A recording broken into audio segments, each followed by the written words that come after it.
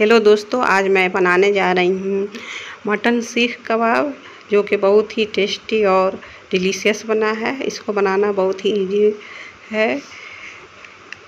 चलिए इसको बनाना शुरू करते हैं। इसके लिए मैंने लिया है एक कप कीमा लिया है मटन का। उसको बहुत ही महीन पीस लिया है और उसका जितना पानी है मैंने निकाल लिया है कीमे का अच्छे से। दो चम्मच चने का सत्तू लिया है। एक चम्मच कॉर्नफ्लावर डालेंगे, दो हरी मिर्च काट करके डालेंगे, एक चम्मच अदरक पेस्ट एक चम्मच लहसुन पेस्ट डालेंगे, एक छोटी चम्मच लाल मिर्च पाउडर एक छोटी चम्मच आधा छोटी चम्मच हल्दी पाउडर और धनिया गोलकी पाउडर डालेंगे, एक चम्मच धनिया पाउडर आधा चम्मच गोलकी पाउडर और जीरा पाउडर थोड़ी सी डालेंगे। ये सब मिक्स है मेरा। आधा चम्मच से थोड़ा कम डालेंगे गोलकी पाउडर। और ये प्याज मैंने एक छोटा सा बारीक कट करके रख लिया। इसका पानी नचोड़ कर प्याज का अच्छे से पानी नचोड़ कर तब इस प्याज का पानी निकाल कर इसमें डाल देंगे और नमक स्वाद अनुसार डालेंगे। लेमन जूस डालेंगे इसमें। दो चम्मच मैंने, दो बड़े चम्मच लेमन जूस ऐड किया है इसमें। अब इस सबको अच्छे से मिक्स कर लेंगे। अच्छे से मिक्स करके अब इसको इसमें थोड़ा सा पुदीना कट करके मैंने डाला है। पुदीना का पत्ता, आपके पास अगर धनिया पत्ता हो तो उसको भी ऐड कर लें। अब एक स्टिक लेंगे।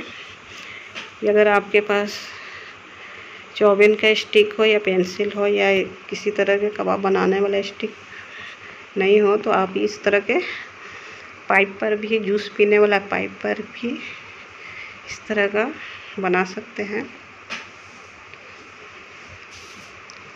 जिस तरह से मैंने इसको बना रही हूँ सेम उसी प्रोसेस से आप भी बना सकते हैं। थोड़ा सा गोला लेकर इसको दबाते हुए लंबा कर लेना है, ताकि बीच में मेरे कबाब में होल हो जाए, छेद हो जाए, ताकि इस तरह से सीखे अच्छे से कबाब सेकने पर अच्छा सा मेरा कबाब बन करके तैयार हो। देखिए किस तरह से मैंने इसको बना लिया है। और दूसरा इस तरह से बनाए इस, इसको गोल बॉल ही लंबा कर लीजिए और इस, इसमें स्टिक अंदर डाल दीजिए।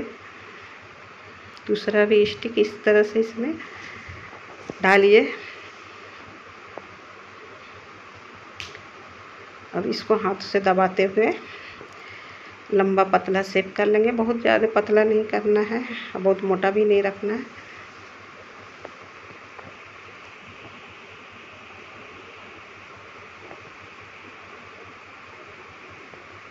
देखिए, मेरे बीच में कितना अच्छा सा होल हो गया है। इसी तरह से सारा कबाब तैयार कर लेंगे। अब एक फ्राई पैन चढ़ाएँगे। उसमें दो चम्मच ऑयल मैंने डाला है।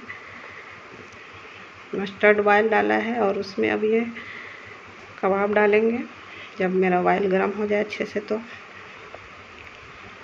मीडियम से थोड़ा सा सोलो रखेंगे गैस के फ्लेम को और एक मिनट के बाद इसको पलट देंगे। जब एक मिनट हो जाएगा, सीख जाएगा अच्छे से तो दूसरे साइड इसको पलट देंगे। फिर एक मिनट के बाद इस तरह से उलट पलट करते हुए अच्छे से इस कबाब को सेकेंगे। गैस के फ्लेम को बहुत ज़्यादा लो नहीं रखना है और बहुत ज़्यादा हाई भी नहीं रखना है। लो से थोड़ा ज़्यादा रखें फ्लेम को, थोड़ा मीडियम हाई से थोड़ा कम रखें। देखिए मेरा कबाब अच्छे से सीख गया, इसको सीखने में छः मिनट लग गया लगभग। दूसरे बैच को भी सेम इसी प्रोसेस से फ्राई करेंगे। एक मिनट के बाद इसको फिर पलट देंगे। ये कबाब बहुत ही टेस्टी बन करके तैयार होगा। इस तरह से आप भी ट्राई कीजिएगा।